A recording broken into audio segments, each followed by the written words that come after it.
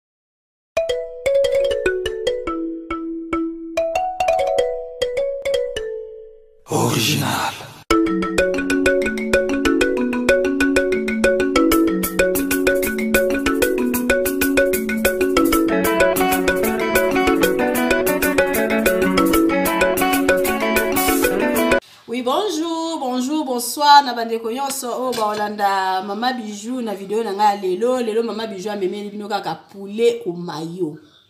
naolakisa bino euh, soso na ngai ndenge nini na saisonne ye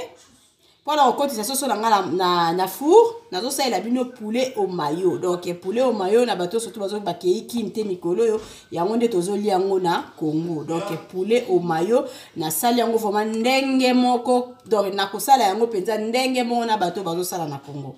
naolakisa bino biloko nini oyo na saisonne na poulet na ngai mpona kokotisa ye na four natie zinf oyo babengi yango na nkombo ya moutarde natie ndambo ya citron jus de citron na fini nazwi tangawisi na ngai mokie na mixe ye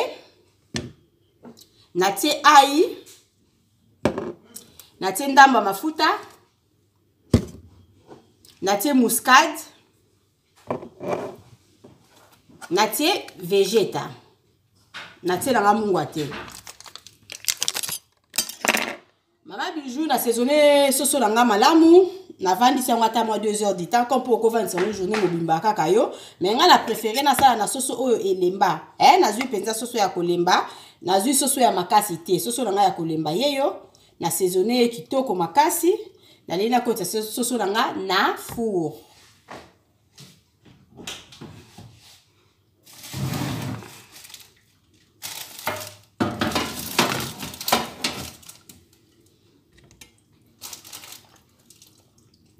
soso na ngai oyo nazotia ye na four nakotia ye na four apre nakolakisa bino ba épice nini oyo nakotia likolo ya poulet mayo na ngai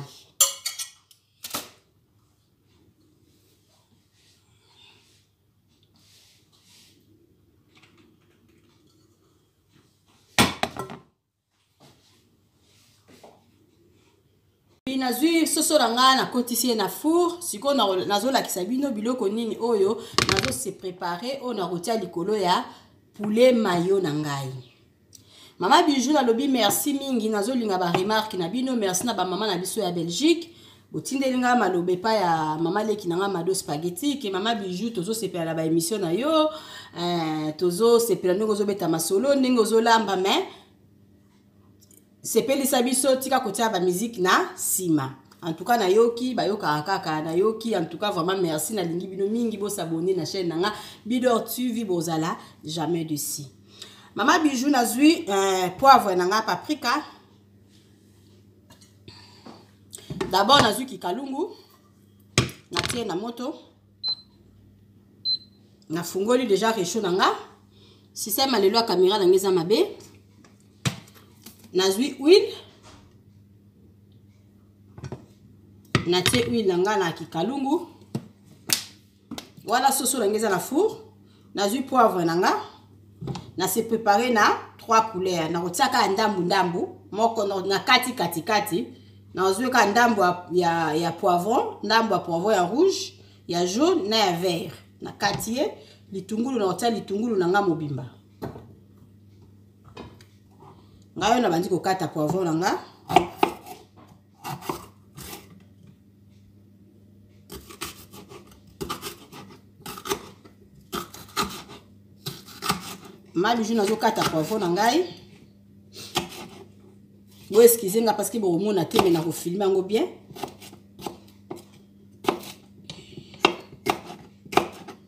vraiment bosabone na chaine ya mama bijou bozala jamais dessus mama bijou abetaka masolo mama bijou alambaka mama bijou alakisaka barecette ya biloko oyo ekoki kogarde nzoto donc eh, mama bijou naza wana kaka mpona kopesa conseil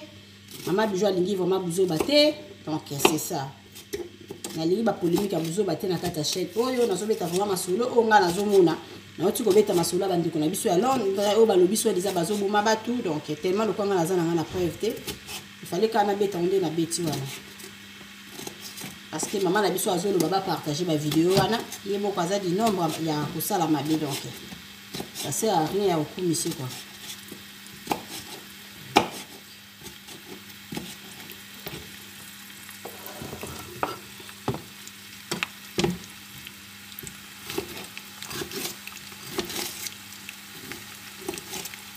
nazokata na kati bapoivron na nga na kokata matungulu après nakolakisa bino ndenge nini sauce na ngai ekobela tozeli soso epuis nalakisi bino ndenge nini poulet mayo na ngai nakosala yango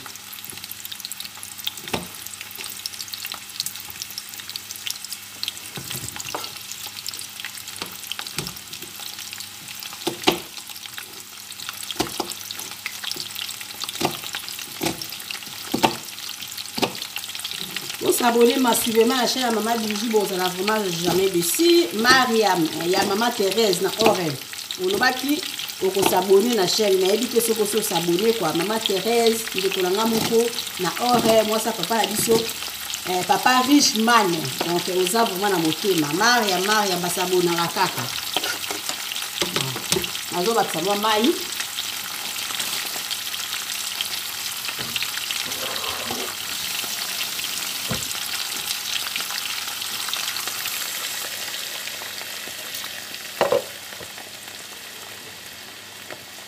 nazwi lokutema natiaki soso na nga vegeta nazwi ka mwa epice na nga oyo nde yango nakotia yango na nakotia yango na sauce na ngai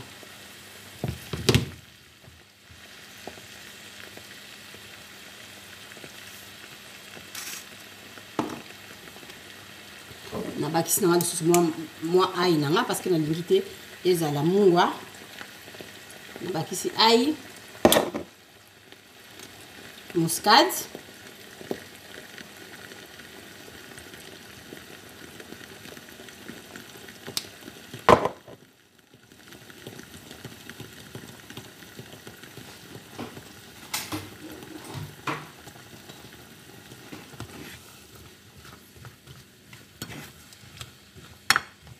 en attendant poulet na ngai poulet mayo na ngai poulet na ngai eza, eza na four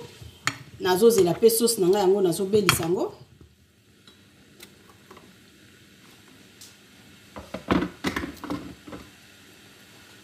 bosaboni masuivema na chaîne ya mama bijou mama bijou alobi bozala jamais desi mama bijou atiaka na ye bozoba te mama bijou atiaka na ye kofinga te donc parce que toza na bana donc il faut opesa bango respect kolakisa bango vraiment kofinga eza malamu te donc eh, mama bijou na ngai nalakisa bino siko sauce na ngai ndenge nini eza kobela na ngai yango wana sauce na ngai ya paprika donc poivre quoi nazwi poivre na ngai na divise yango par deux nazwi na ngai kaka ndambu ndambu donc nazwi poivre rouge ya vert na ya jaune na ya matungulu natiaki mafuta natie bapoivre na ngai nabakisi mwa ndambo ya mai natie mwa epice mokie kaka nga wana nakomi kotokisa eh, bapaprika na nga donc eh, nazozela ti mai ekauka donc nakokanga na nga moto nakozela soki soso na nga ebeli epuis nakolakisa bino ndenge nini mama bijou akosala poulet au mayo donc tellement bana poto ngai balia yango na kwanga eza te nasaleli bango kaka mwa pomme de terre natokisi pomme de terre donc bakolia poulet au mayo accompagne na pomme de terre donc mama bijou alobi bosabone na chaîne na ye bozala jamais d'ici donc euh, c'est ça bozela sikoyo bomona poulet mayo ya mama bijou ndenge nini ekobela azokanga euh, poulet na ngai poulet mayo pei na ngai yeyo nakokanga ye boye apres nakozongisa ye moke na four ata mwa 10 minutes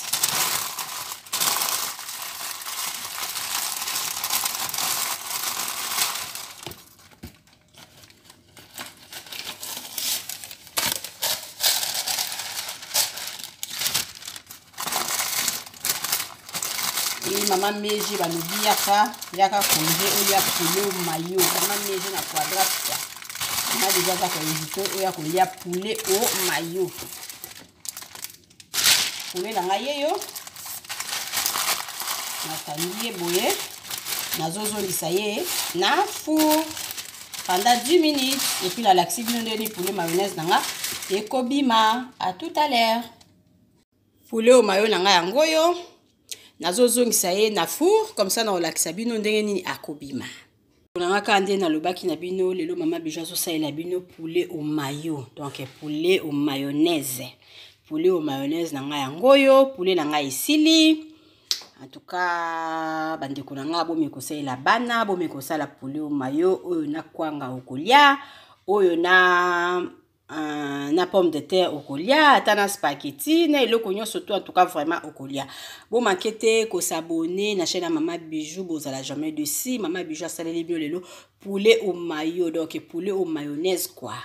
Eh, nazopesa mbote na famille na ngai mobimba famille mosi bisika bozali donc ya deric na suisse babizou napesi mbote na bandeko na ngai nyonso napesi mbote na bakamaradi na nga mama miege na quadrate mama jolie na belgique mama magi mama magi tala poulet toliaka na congo poulet omayo oh, ma copine bijou tokoluka poulet omayo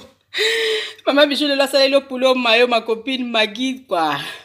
eh, donc eh, bijou la blanche yo olesaka nga nde ngulu ngulu omayo nga sikoyo nasali poulet omayo poulet omayonnaise yango oyo donc napesi bandeko na ngai nyonso mbote bakamaradi na ngai bisika nyonso tu bozali mama viviane na quadra e eh, mama viviane na fraishaine donc eh, on est vraiment ensemble quoi bosabone massivement na chaîne ya mama bijou bozala jamais dessus mama bijou alobi bidor tv nde makambo s'abonner na Bidor TV et puis euh, partager bo partager ba vidéo na nga ndeko na nga mwasi Blandine Bula quoi na Belgique eh, ya Blandine na lela yo makasi Linda na Irlande eh, Mosi na Irlande vraiment mama bijo asaleli bino poulet mayo bo partager ba vidéo oyo Uh, bo aimé ba page na nga bo tia ba commentaire Fatou Boka na colonne donc eh, mama bijou alingi bino mingi quoi bisous bisous